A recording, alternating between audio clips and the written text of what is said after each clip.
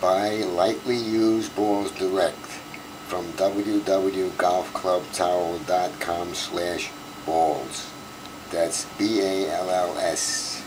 Buy direct and save.